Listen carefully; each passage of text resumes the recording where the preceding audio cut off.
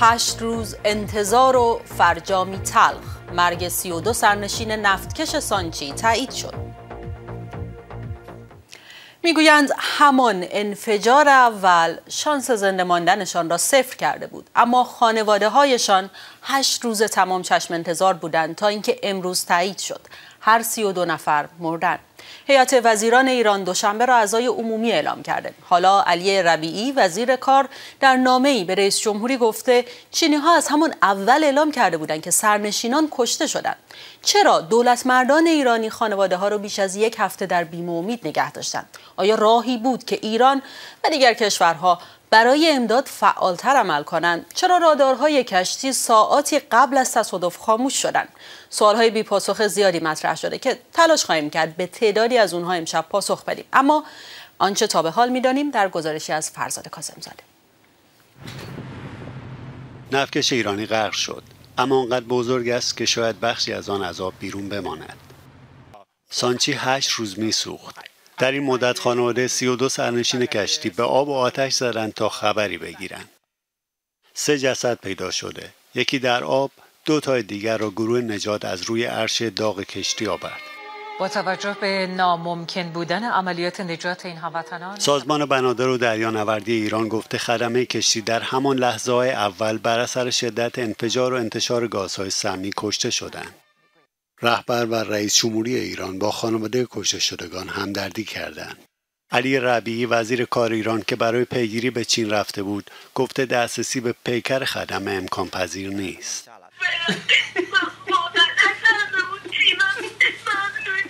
خبری که گفتنش به خانواده ها آسان نیست.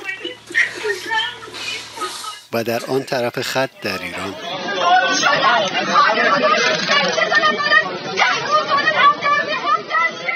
چین به ایران قول داده بود حتی اگر یک درصد امید باشد صد درصد تقلا کند ارتش ایران عدهای از تکاورانش را برای جستجو به آبهای آن طرف دنیا فرستاد اما دیر شده بود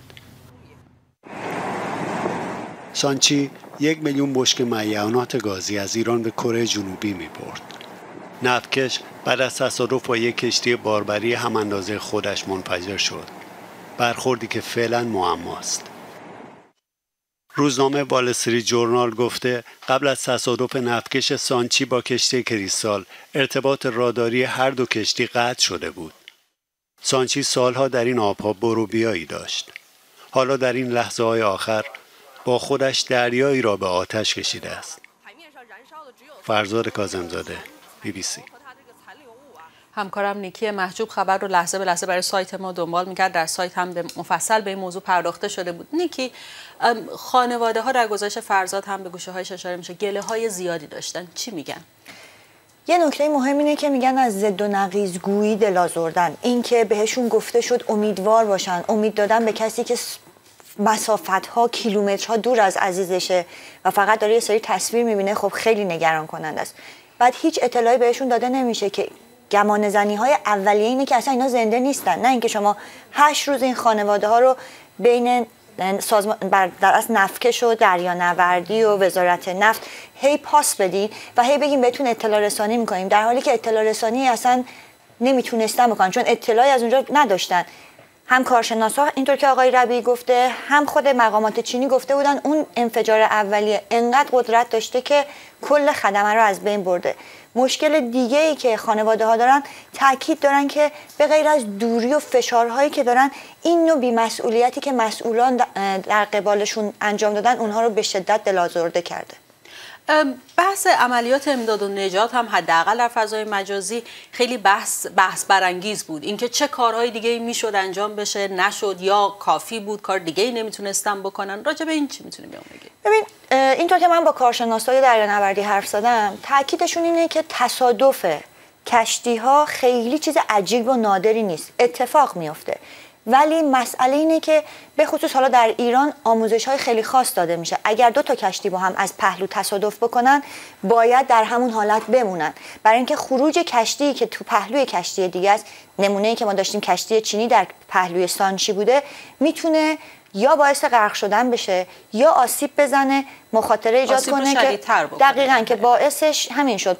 عایق میعانات گازی از بین رفت توی این تصادف. با خروج اون کشتی چینی احتمال میدن جرقه در از صورت گرفته باشه اکسیژن وارد اون فضا شده باشه و خب نتیجهش آتش سوزی و انفجار بوده. نکته دیگه ای که گفته میشه این, این هستش که تمام خدمه کشتی تمام دریانوردای ایرانی همیشه دوره اطفای حریق رو دیدن. یعنی از اون طرف مشکل نبوده. احتمال داده میشه که انقدر این یک در یک لحظه اتفاق افتاده فضایی برای نجات نبوده. چون وظیفه هر فرمانده کشتی توی وضعیت اینطوری این هستش که کشتی و خدمه رو نجات بده. دولت ایران نقدهای بسیار زیادی شده هم از طرف خانواده ها هم از طرف مردم از اینکه احساس می‌کنن که شاید بهتر می‌تونستن عمل کنن. مثلا کمیته که تشکیل شد وقتی آقای ربیعی دو روز پیش اگه اشتباه نکنم میره به چین انتظار این بود که خب روز اول چرا نرفت؟ ببین یه سری نکاتی هست. اینجور که کارشناسا میگن تاکید دارن روی اینکه اولا اینکه گفته میشه این کشتی در آبهای سرزمینی چین بوده چندان درست نیست. این کشتی مایل ها دورتر از آبهای سرزمینی چین بوده. در نتیجه امکان امدادرسانی خارجی وجود داشته. اینکه چرا چین درخواست نکرده یا چرا ایران درخواست نکرده سوالیه که برای همه مطرحه که می‌تونستن درخواست کمک کنن. نکته دیگه این هستش که خب کمیته های مختلف تشکیل دادن. کمیته استراری که هر کشتی در هنگام تصادف اعلام می‌کنه به کمپانیش و تشکیل میشه تشکیل شده. اما چرا خدمات رسانی نکرده؟ باز کسی پاسخ نداده. خانواده ها دنبال وزیر نفت بودن که بفهمن چه اتفاقی افتاده چرا پیگیری نکردن چرا به چین فشار نیاوردن در حالی که رابطه ایران و چین بسیار رابطه خوبی هست و می‌تونستن از چین کمک بخوان. ایران اعلام کرده سه تا کشتی آتشخار که در از مکنده آتش هست رو از ژاپن و چین درخواست کرده بوده که به منطقه برن. از اون طرف چین گفته احتمال این آتیش سوزی باعث می شده که نتونه کار کنه. کارشناسای دریانوردی تو ایران میگن امدادرسانی عملیاتی 24 ساعت است و چین شبها عملیات متوقف می‌کرده. با توجه به محموله و با توجه به بیانات گازی در طول این مدت باعث می شده که در طول شب دقیقا حالا بگیم 8 ساعت 7 ساعت شبانه روز این میعانات دوباره اشتعال پیدا کنن دوباره آتش سوزی بشه و در اصل این طرف تمام تقصیرها رو خانواده ها اینها بیشتر به سمت چینی ها و به سمت مقامات ایرانی میندازن که رسیدگی نکردن و 32 نفر به دلیل شاید عدم هماهنگی جونشون رو از دست دادن. خیلی وقتا وقتی یک کسی داغدار در, اتفاقی میفته و شما نمی‌دونی چه شده اطلاع رسانی مناسب می‌تونه خیلی بار رو کم بکنه. در این هشت روز چطور میشه ارزیابی کرد رسانه های ایران رو و نحوه اطلاع رسانیشون رو؟ یه انتقاد خانواده ها که من یادم رفت بهش اشاره کنم و الان گفتی همین بود که چرا رسانه های ایران از روزهای اول به هیچ عنوان اشاره نکردن؟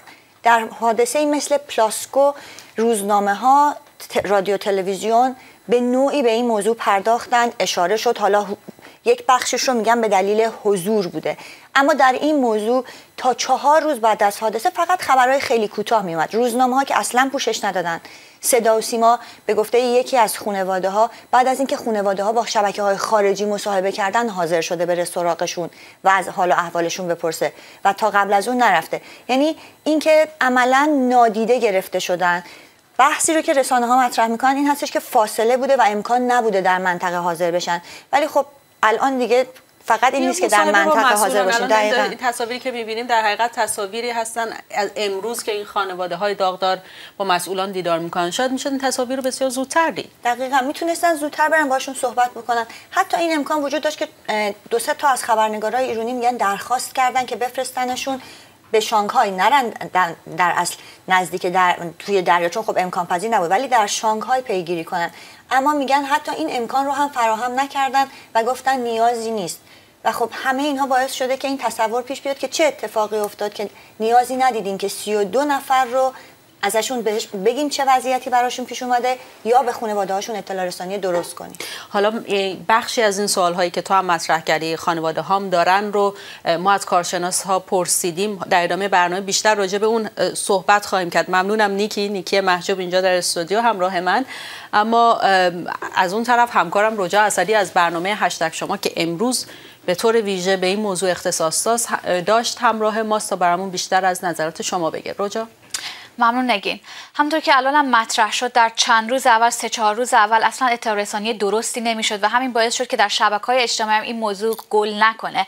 به علاوه اینکه تلگرام فیلتر شده در ایران و تلگرام یک تبدیل به یک رسانه شده در ایران و وقتی که فیلتره مردم دسترسی ندارن به اطلاعات بروز و اینکه چه اتفاقی میفته. بنابراین اونطور که معمولا اینجور اتفاقات در شبکه اجتماعی گل می‌کنه در چند روز اول شاهدش نبودیم. اما از دو روز گذشته هزاران بار دیدیم که این موضوع گل کرده با هشتگ نفتکش سانچی و همه دارن در موردش تقریبا بیشتر کاربران دارن در موردش صحبت می‌کنن. صحبت ها بیشتر دلداری دادن و تسلیت گفتن. اگر این صفحه منو ببینید می‌بینید که تصاویر خانواده ها داره پخش میشه. کسایی که همسران خواهران خواهران خدمه بارها و بارها توییت شده و بازنشر شده.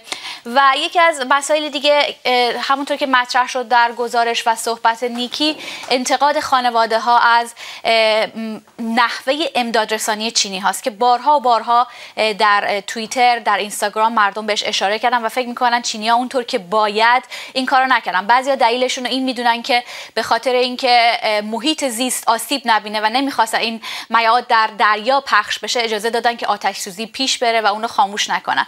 مثلا این کاربر رو که می‌بینیم میگه تعلل چینی ها برای در اختیار قرار دادن امکانات برای ورود تکاوران نیروی دریایی ارتش به عرشه کشتی یک بار دیگه ثابت کرد. کشورهایی مثل روسیه و چین نه از نظر استراتژیکی شریک خوبی هستن نه از نظر اخلاقی و انسانی. اما هفت انگشت انتقاد فقط رو به چین نیست. خیلی از مسئولان هم انتقاد کردن که چقدر دیر اقدام کردن. مثل این کابر که میگه نفکش سانچی قبل از اینکه غرق در آب بشه غرق در بیکفایتی و ناکارآمدی مسئولین شد.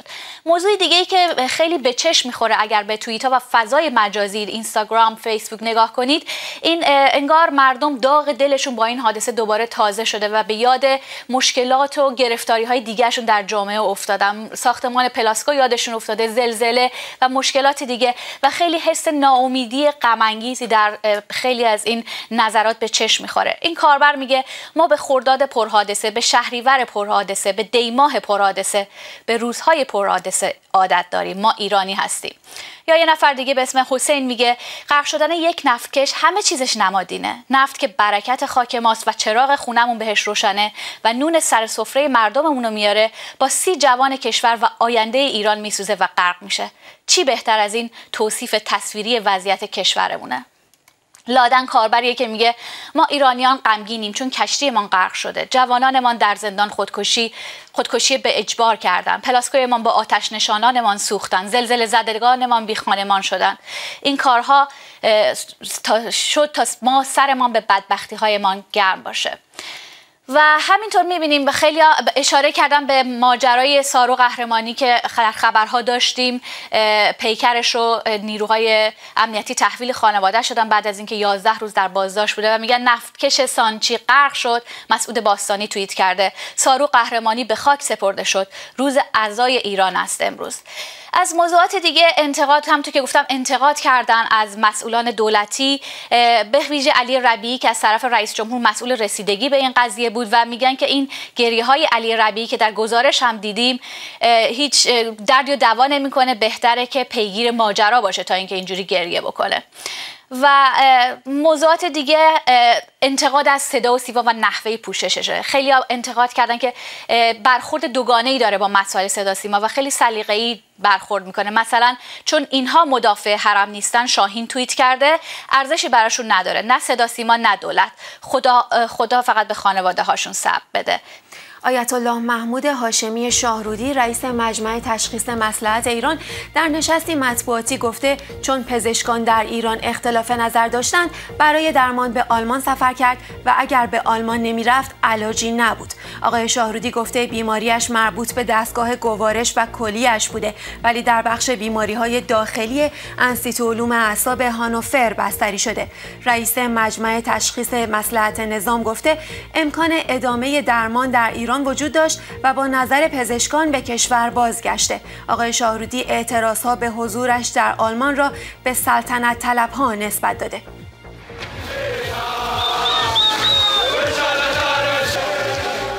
و خشم تونسی ها در جشن هفتمین سالگرد بهار عربی.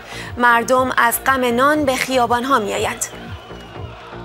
تونس امروز در حالی هفتمین سالگرد پیروزی انقلابش را جشن گرفت که بار دیگر دستخوش شورش و حرکت‌های اعتراضی شده. در پی تظاهرات در شهرهای مختلف این کشور در روزهای اخیر دولت تونس امروز اعلام کرده که دست به اصلاحات فراگیر می‌زند. اعتراض ها در تونس با آغاز سال جاری میلادی و در پی اعلام افزایش مالیات و قیمت کالا و خدمات آغاز شد. تا این لحظه در جریان این تظاهرات بیش از 800 نفر هم بازداشت شدند. مرداد فرهمن و جزئیات بیشتر. زادگاه بهار عربی هفتمین سال روز پیروزی انقلاب خود را به جای جشن با خشم برگزار کرد. شعار دیکتاتور سرنگون باد جای خود را به این شعار داده. مردم خواهان سرنگونی بودجه یعنی قانون بودجه سال 2018 که دولت را برای جبران کسری بودجه و تأمین هزینه هایش به بالا بردن قیمت ها و مالیات ها واداشت. حالا هم دولت با عقب نشینی در برابر تظاهرات ناچار شده هزینه های خود را بالاتر هم ببرد. اول برای همه خانواده های فقیر بدون نانآور مقرری تعیین می‌کنیم. دیگر اینکه برای همه تونسی ها بدون استثنا بیمه درمانی ایجاد می‌کنیم. علاوه بر این به همه خانواده های تونسی کمک می‌کنیم که صاحب مسکن شایسته ای بشن. بهار عربی همه جا به زمستانی کشنده رسید ولی در تونس می‌توان گفت به خزان نشست. تنها خواسته های سیاسی معترضان بود که تقریبا برآورده شد. من به رئیس جمهوری تونس تبریک میگم که کشورش در زمینه پیشبرد حقوق زنان، توسعه نهادهای دموکراتیک و رسیدگی به مشکلات اجتماعی و اقتصادی اینقدر پیشرفت کرده. می‌دونیم که چنین پیشرفتی اصلا ساده نبوده و مرحله انتقالی در هر کشوری خیلی مرحله حساسیه. سازمان ملل با قدرت تمام از دولت و ملت تونس در رویارویی با چالش های داخلی و منطقه‌ای پشتیبانی می‌کنه. اما گویا این حرفها برای جمعیت خشمگین نان نمی شود. ما برای دستیابی به اهداف انقلاب به ویژه اهداف اقتصادی و اجتماعی به مبارزه ادامه میدیم. اینهایی که الان در قدرتن دارن ملت و کشور ما رو نابود می‌کنن. تونس به گزینه های اقتصادی و اجتماعی تازه ای نیاز داره. کشور ما برای برآوردن خواسته های این مردمی که این همه برای کرامت و آزادیشون مبارزه کردن به رهبری سیاسی تازه ای نیاز داره. انقلاب تونس در آغاز انقلاب نان و کرامت نام داشت. پس از هفت سال نان در تونس کمیابتر هم شده. مرداد فرهمند بی بی سی بیل.